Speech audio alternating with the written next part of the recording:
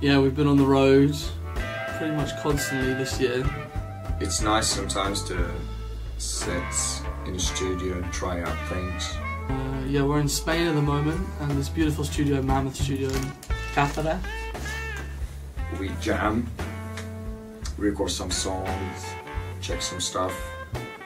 But it's a great studio, look great outboard gear, there's loads of valve compressors and things like that. They make me happy. We make the general like drums and like the setup is 15 minutes.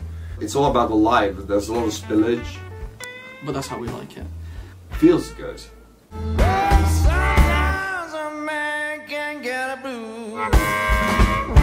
and deal with bad luck and trouble.